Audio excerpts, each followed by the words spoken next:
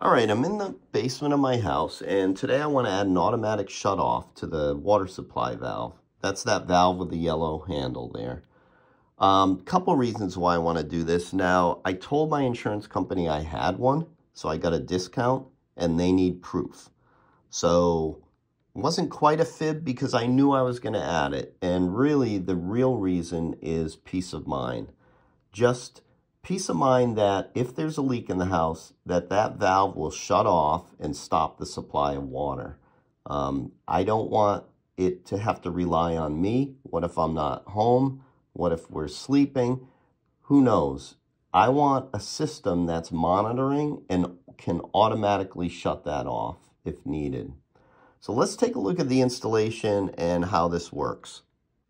All right, so here's what I got, right? This is all the equipment that needs to be installed and you'll see very easy, straightforward. This whole thing is probably a little over 200 bucks all in. Um, there was some Black Friday deal, but honestly, you can see sales on this stuff throughout the year. So, um, I mean, the, the entry cost is super low and think about if this prevents water damage in your house, how much it can save you. The other thing is just by installing this, I'm going to save $300 on my homeowner's insurance. So there's a compelling reason to put this into your house or, or even something comparable, if not this. But this is a, a great do-it-yourself type of system. So let's take a look. All right, so first off, we have the actuator for the valve. So this basically goes over the ball valve, and it's the motor that's going to turn it on and off. It's just going to spin the valve. Comes with some hose clamps and some installation hardware, so we'll figure that out. Now, this is the power supply for the motor, and you can use this with batteries which is great, right? Because if you have severe weather, you lose your power, you still want to be able to shut this thing off. And I'll show you how that can actually work even without internet connection. So here's your power supply. There's also um, an AC power supply that plugs in. So it'll be using AC primarily, and then um, it'll have battery backup. Okay, so that's that stuff. These are the sensors. So you can, you're to buy these separately, but in this case, I bought a, a package of four sensors. This is a hub that goes on your uh, home network. So basically, you just plug Ethernet, plug it into your router, it sits there. This communicates with the hub. These things will detect water, whether it pools up underneath or it drips down on top. Um, they work really well.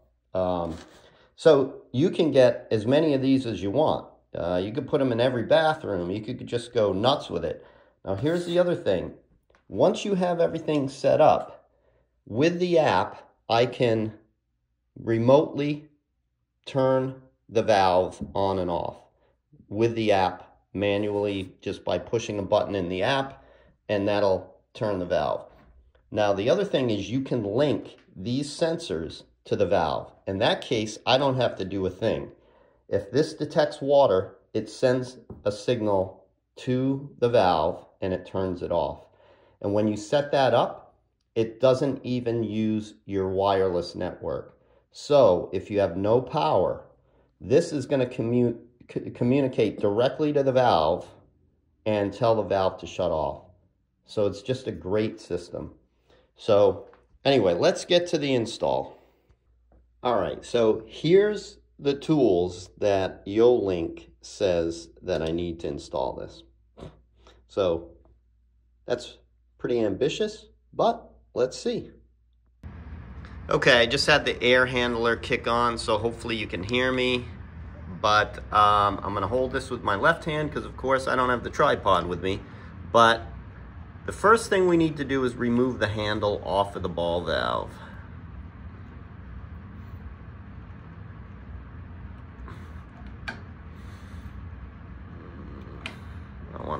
I'll strip this thing. It's on there pretty good.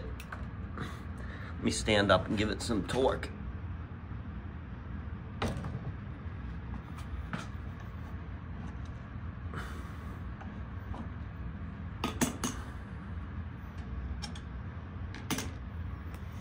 All right, so you have the nut off now, the handle just slides off.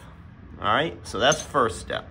All right, with the handle off, I just wanna point out, you can see this shaft. It looks like it's round, but it actually has two flats. It has a flat on this side and a flat on that side. So what we need to do is we're gonna slip this adapter over it, and you can see these two screws, catch the flat, and then tighten the screws, okay? So let me do that off camera, because again, I can't hold it, but we'll be back in a second. All right, here it is attached to the shaft. Simple. All right, so here we are with the actuator. You can see that the adapter is going to slide into this hole here and the whole thing just slides on, okay? And then these arms will go onto the pipe and then be held by the hose clamps. Okay, so here it is with the hose clamps on. I've just got to secure this uh, ground wire, but simple as that. Look at it, simple. Um, I mean, what am I into this job for? 15 minutes? Like, uh, this is a no-brainer. Everybody should do this. Okay, we have the actuator installed, so now we want to put the controller and plug that into the actuator. This powers the actuator. But here's the thing, this communicates with the hub that's on your home network. So really, I think I'm going to install the hub first put the hub on the, on the home network, then we can discover this once we have it connected, and then use the app to control the actuator. So right now, we're gonna take this and we're gonna put this on our router, and you can see it just uses a hardwire ethernet and um, a USB-C power connector. Simple as that, let's go do it. Okay, here's the Yolink hub, uh, USB-C power, they give you all that and uh, I just need to make an ethernet connection to my router. Now, in my case, I've got a mesh network, so I have like three of these eero devices in the house. So I just picked one here for now, and I just want to put it here, get everything up and running, and then I'll probably tuck it away someplace in a more permanent location. But um, basically, ethernet from there to here, and then we're going to set up the app. Okay, plugged in and powered up. And let's go to the app. Okay, the hub is powered on. We downloaded the Yolink app. You set up a home. You kind of get prompted for that when you first start the app. So now we've got that set up, but there are no devices yet, right? So we want to start adding devices. If you see here, please tap this square. I tap that. Access the camera. Sure.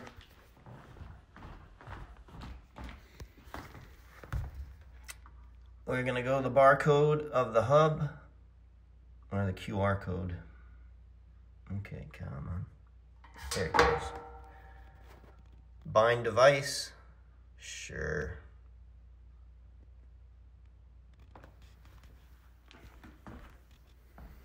Okay, so we have the hub now on the network. So let's go back to the controller. Okay, so we want to put batteries in this, and we've got four screws here, and unfortunately, Yolink has not given us free batteries, so let's go find some batteries and do that. All right, so I removed the screws, went to get the batteries, but look, what? It comes with batteries, and they're already connected, so I don't have to do anything like pull a tab. So let's put everything back together. Okay, so we're going to add the controller now. So we've got the QR code ready to go. Hit add device. Oh, wow. Found it really fast. There you see Yolink valve, bind device.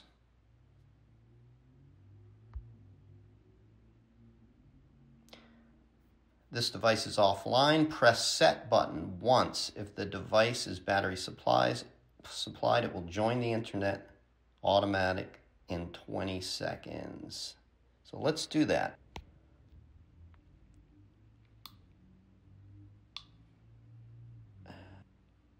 Okay, I just hit the set button. You saw it populate this. It wasn't connected, it's now connected. And that slide switch there would activate the uh, valve one way or the other once it's connected. So let's go connect the controller and test this thing out. Just want to show you this is the set button. That's what I tapped when I was in the app. All right, so we're back at the actuator. I just want to show you this cable is going to connect to the controller, all right? But the controller does have to be mounted somewhere and they give you some anchors and things, but I don't have an easy, convenient place. Now I could just tie wrap it, right? Like there's lots of places I could just tie wrap it and just let it hang. Um, but I just did some plaster work and I have a masonry bit and drill. It's kind of all queued up, ready to go. I'm just gonna make a hole here, put an anchor and just mount it close by. Um, so that kind of goes beyond the scope of the Phillips head and the adjustable wrench, but whatever. You guys can do what you want. All right, controller's mounted and I just need to make my connection here. Um, just realize this is keyed, so it's only gonna go in one way, all right?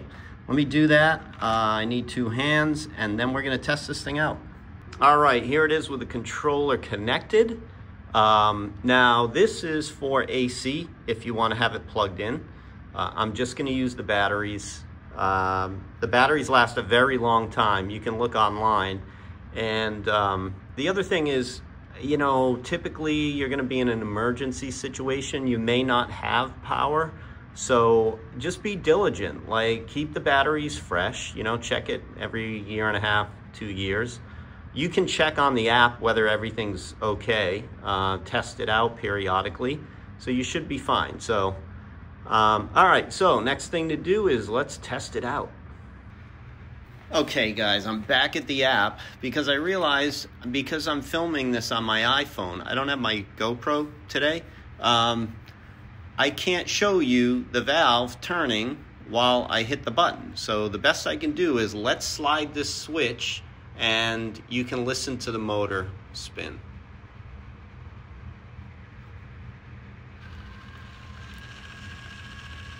And I'll show you the valve handle. It's turning into the closed position. And let's come back to that now. Okay, and here is the handle now off. The water is off. Uh, I believe O is for open, S for shut off. Um, but let me go into the app. I'm gonna open the valve and this time I'll come back to video so you can see it move. Okay, so I just hit the button. Now this is opening.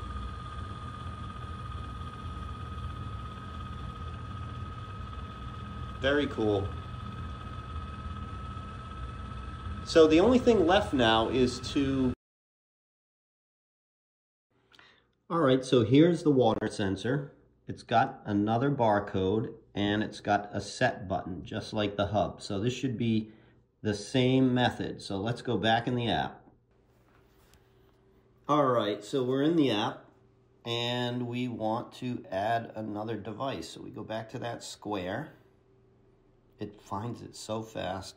Leak sensor, bind And now this is added.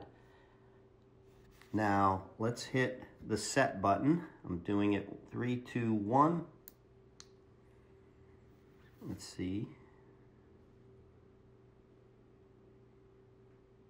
Bam, there it is.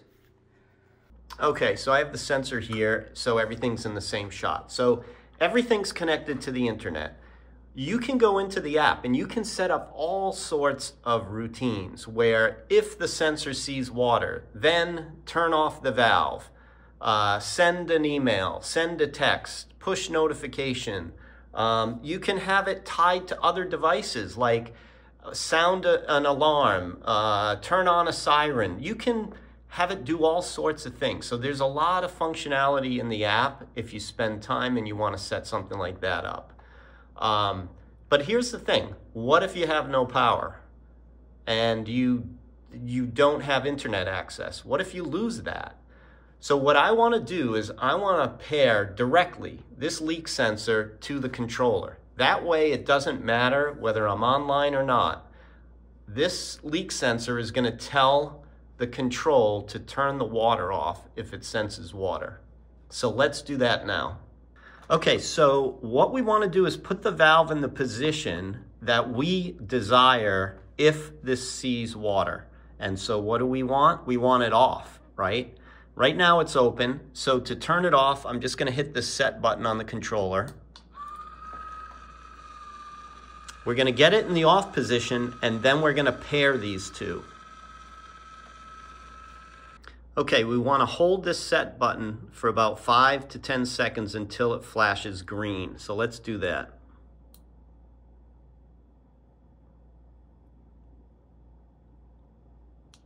There's green. Now we go to our controller. So you start with the sensor, then you go to the controller. We're going to do the same thing, 5 to 10 seconds.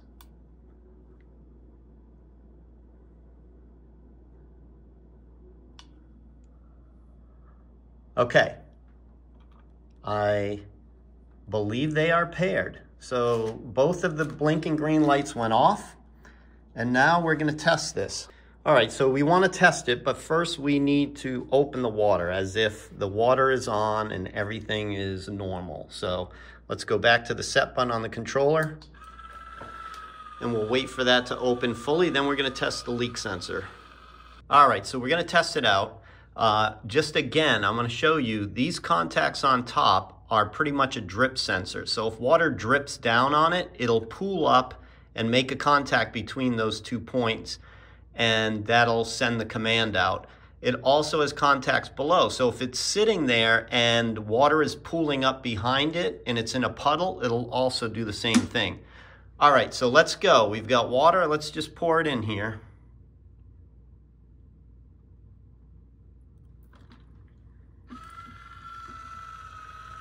There it goes. Simple as that. And you can put as many of these you, as you want throughout the house. What a great thing. And I got a notification, leak sensor detected water. So there you go. Let's come back and summarize uh, this video. Okay, so to conclude this video, you guys saw how easy and straightforward this installation was. Um, I think a lot of you could find uh, a real reason to have this type of device on your water supply. Um, I think we all know somebody or have had firsthand experiences with leaks in the house and you really need to shut the water off fast and this thing will be in the background monitoring and be able to shut the water off whether I'm here or not, whether I have electricity in the home or not. So it's really a valuable um, device in my mind. So anyway, hope this helps and good luck.